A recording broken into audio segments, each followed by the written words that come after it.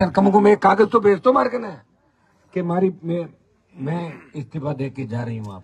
ये हमारे राजू खोजा हमारे प्रधान, देखो बावड़ी, उधर देखो, वो सामने खड़े देखो सर। ये सबसे मेरे से लंबा राजू, बावड़ी का प्रधान है। दिव्या मदेना मारू नाराज़, ज़्यादा क्यों बैठा था ना कि राजू प्रधान बन गई वहाँ तो आप बताओ कहीं कमी है बताओ? सवा छह फुट लंबो है। जवाना की लड़ाई लड़ाई जोधपुर में दिन भर सारी सेवा करे। किसान को बैठो आज तकलीफ़ है राजू ने प्रधान क्यों बनायो? और राजू वही है जो दिव्यांग लाडली बार एमएलए बनवाई मार कनो। क्यों मदद करो हनुमान जी? आपने मदद करनी है। महिपाल जी मारो सुन रहा था। सब लोगों ने कहा मदद करो मदद करो। इसे पिताजी ने कर दी मैंने मदद। बट एक करके मदद करो दो तीन पाँच बार तो क्या करो। पार्टी अलग है। बात तो बाने ध्यान रखनी चाहिए।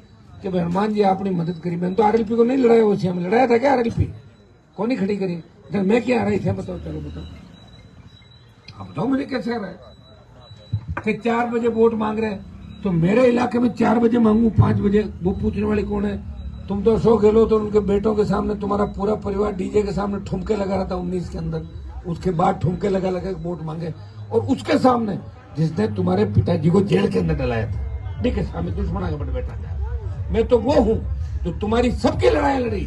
तमाम किसान नेताओं को ज़िंदगी को खराब किया। अशोक गहलोत के बेटे को मैंने हराया और हरा के उसको ये कहा कि आप जादूगर नहीं हो गहलोत साहब।